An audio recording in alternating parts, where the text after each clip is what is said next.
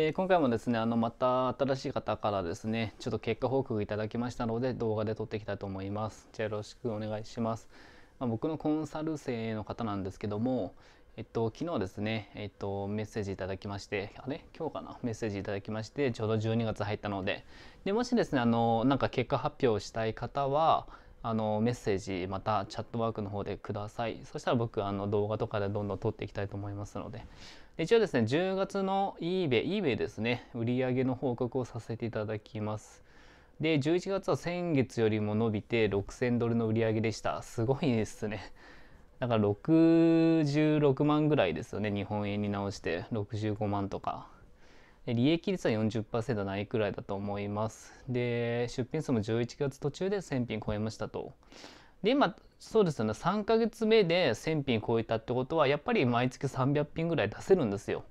あの普通にこの方法でやってると300品はぶっちゃけ簡単なので僕だって 2, 2日ぐらいで出せる自信あるんですけどでもそれでもやっぱり1000品やるってすごいハードル低いんですよ。だからあの1000品なんてできないんじゃないとか多分思ってる方は結構いらっしゃると思うんですけど意外に1000品とか簡単に出品できるのでだってちっちゃい商品しか狙わないので しか狙わないのであの1000品なんてすぐ置けるんですよ実は。それぐらいのものっていうのがあるので。そうで僕のコンサル受けてから1ヶ月目で140ドルで2ヶ月目ですごいですね20万円近くいってたんですね。で、3ヶ月目でなぜか6000ドルいったっていうことですね。で、あとですね、利益率っていうのは、あの、これからですね、売れてない商品が売れていくので、どんどん利益率っていうのは高くなるんですよ。あのもちろんあのご存知だと思うんですけど多分最終的に40%っていうのはなくなりますね多分普通にもっと7080とかは全然いくんじゃないかなと思いますねあの売れてるもう元が取れてる商品でで今後そういった元が取れてる商品が売れていくので今までの利益率の方がどんどんその高くなるわけじゃないですか。あの売れてない商品が売れるわけなのでしかも元が取ってる商品なので。だから利益率っていうのはこれからもどんどん上がっていくのでまあ問題ないかなって感じでかすごいですね。3ヶ月目で6000ドルとかなんか羨ましすぎますよね。普通にビジネスやるとしたら。うん、いいっすね。てかすごいっすね。で、売り上げが推移してますと。そうですね、出品数が増えればそれに比例して売り上げが出ることが分かったので、あ、このメッセージ他の方もいただきましたね、昨日。そうなんですよ。出品数を増やせば、比例して売り上げが出るイコール作業芸で稼げることができるようになるんですね。要は、クリエイティブなことって、あのデザイン作ったりとか、なんかブログ作ったりとか、YouTube で新しいことをやるとか、あのある程度のやっぱりスキルとかクリエイティブ能力っていうのが必要なんですけど一番お金を稼ぐことによって簡単なことっていうのがやっぱりあの出品数とか作業数作業時間っていうのを増やせばそれに比例して右肩上がりであの売り上げが伸びるっていう方法がやっぱり一番簡単なんですよ。要は作業芸で稼げるので作業芸で稼げるってことはあのまあ、しっかりと01を達成してそれに掛け算をする。その掛け算というのが作業時間という形になるのであのそうですね。もう完全に成功体験のレールに乗ってるので売り上げが出ることが分かったのでこのまま出品数イコール作業数を増やす感じで、えー、このままいきたいと思いますってことですね。で今月もよろしくお願いしますってことですね。で僕の方でお疲れ様ですと結果がすごすぎますねってことで YouTube で報告しますねってことで今 YouTube 撮ってるってことででまあなんかこういうことも聞いてみたんですよね。コンサル受けてよかったですかって。でもこれ聞ける人っているんですかね？コンサルやってる人とかスクールであんまりいないと思うんですけど。でそしたらあのもちろん良かったですって来てまあ本当にありがとうございますってことなんですけども。だから3ヶ月目ぐらいでそのコンサル費用の元が取れるっていいっすよね。普通に考えて。あまあでもこの方はまあうまくいった例だと思いますよ。僕から言うと3ヶ月で6,000ドルの売り上げってあのめちゃくちゃすごい方なんですよ。じゃなくて僕がいつも伝えてるのはあの2万でも3万円でも月に稼げるようになれば例えば3万円月に稼げれば年間40万円近くじゃないですか。でこれが例えば10年間続けば400万になりますし、まあ、年月に3万円稼げるの土台っていうのがしっかりできればこの3のところの母数っていうのを例えば20万円とかに頑張ってすればあの年間240万円ですよね。で5年間で、えー、1200万円ですよね。5死にそうですよね。だから5年間でやっぱり1200万円ぐらいあのー、給料とは別に稼げたらなんかめちゃくちゃ美味しいと思うのでだからこういった方もまあ結果がちょっとすごすぎるんですけど6000ドルとか。僕言うとすごすぎるんですけど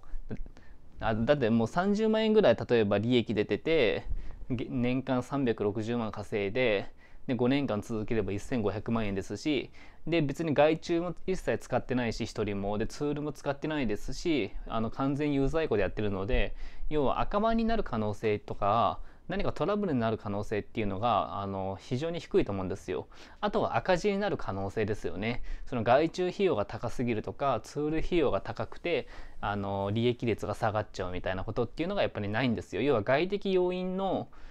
えー、被害が少ないんですよね。てかないんですよ。ゼロなんですよね。外的要因の被害っていうのが。なんで自分一人の個人で作業してるので。だからそれで普通に1日1時間とか2時間あれば全然本当にできるなっていう感じなのでなんか僕の場合はやっぱり1万品出品したら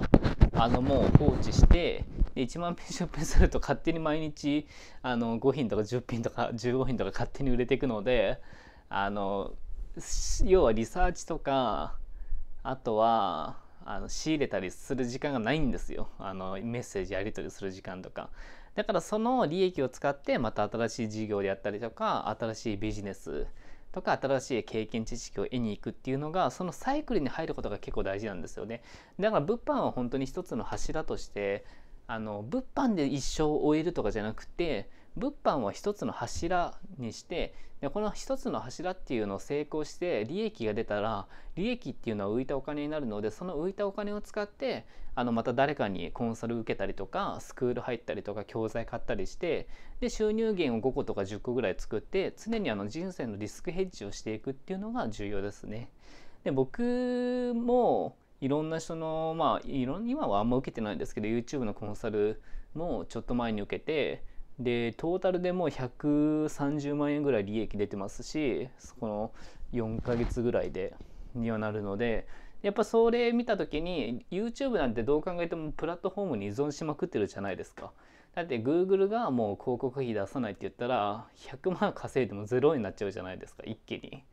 だからリスクヘッジを大量にしないといけないっていうことなんですよ。物販だったら郵送になるので郵送ができないっていうことは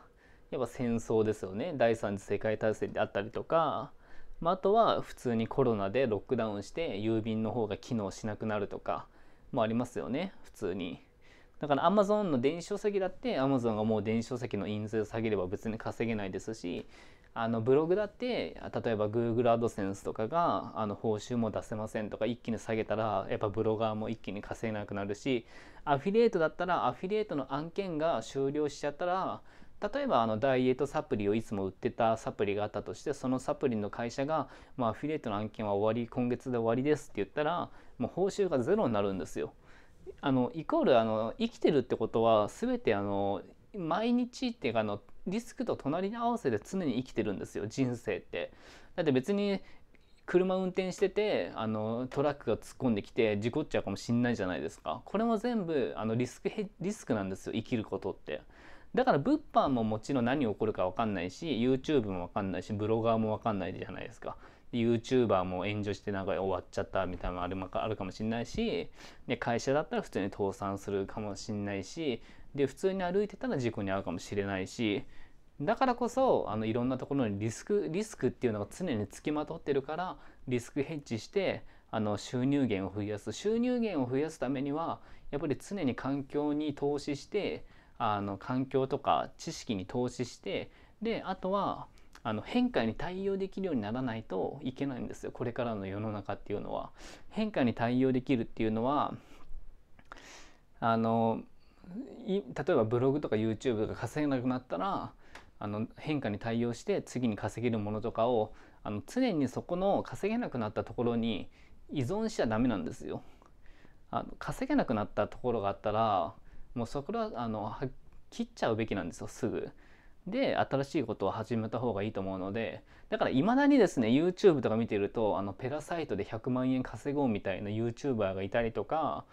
いまだにサイトアフィリエイトをやってあの稼ぎましょうっていうのもでいまだにそのブログアフィリエイトでえっと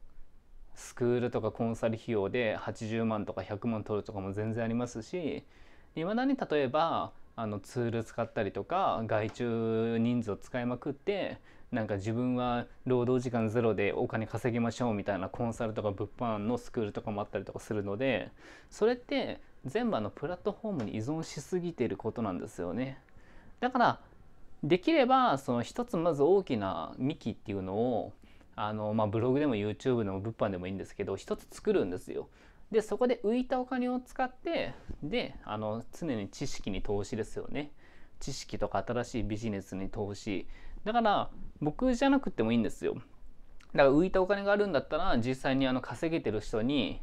あの教えてもらえれば別にいいと思いますしでそういった各ジャンルごとに4人ぐらいのプロフェッショナルの人があのこまあ、例えば先生でいたとしてその人たちにあのこれもやっぱり自己投資って形でまあ教えてもらうのは全然いいと思うんですよね。だから僕もそのまあ今2020年なんですけど、まあ、2021年ですよねまたなんか新しい事業とかビジネスとか新しい収入源ですよね。それもやっぱり最低3つから5つ多ければほんと10個ぐらい何かしら、うん、そうですねチャレンジしていきたいなと思うんですでもやっぱりチャレンジしたいなって思うからこそ新しい情報を得に行こうっていう脳に変わるのでそうするとやっぱり毎日新しい情報収集に走るんですよ新しい YouTube 聞いたりとか新着動画聞いたりとか本読んだりとかあのブログ見たりインターネット見たりとかしててだから受動的じゃなくてこちらからあの常に情報を得に行くっていうスタイルになっていくとあの変化に対応できるっていうことになるのであのそういうこといいですね。だからまあ今回6000ドル出てめっちゃすごいんですけどいやすごいっすね本当に。まあそれでその浮いたお金を使ってまたリスクヘッジしたりとかあの自己投資勉強したりとか全然僕以外の人もたくさんいろんなジャンルあるじゃないですか。僕一応アフィリでも YouTube でもあのワードプレスでも全部独学であの全部できるんですけどあとコンテンツ販売とかマーケティングも分かりますしもうほぼほぼ独学ですね全部。なんで独学でできるようになったかっていうとこれ僕は思ったんですよね。なんかたまに言われるんですよ。な独学でよくできますねみたいなこと言われたことあるんですけど独学であって独学じゃなかったんですよね今考えると。でこれどういうことかというと僕 YouTube を垂れ流ししてるんですよ。毎日3時間か4時間ぐらい。もう毎日ですね。あの毎日3時間か4時間ぐらい YouTube 聞いてるんですよ。いろんな人の。イコールなんか染みついちゃってるんですよね。その人たちの言葉とか考え方とか。あの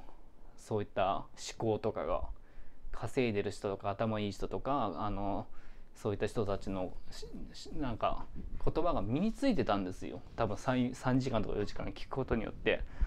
でイコールそれって独学って自分で勉強して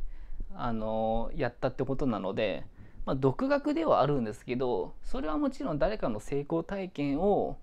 あのまあ参考にして自分で独学でやってみたっていう形なのでだからその毎日3時間から4時間勉強することによってやっぱり全部全部っていうかまあほぼ独学でできたんだなっていうのはまあなんとなく思ったのでまあやっぱり人生変えたいとかなんか変化に対応したいこれからどうにかしたいっていう方は、まあ、僕みたいに1日3時間とか4時間とかいろんな人の YouTube を垂れ流すだけでもいいんですよ。あの耳にですね今無線のイヤホンあるじゃないですか AirPods とか。だから線がついてるとちょっと邪魔なんですけど無線だったらあの料理しながらとか掃除しながらとかなんか作業しながらあの耳に突っ込んでおくだけなので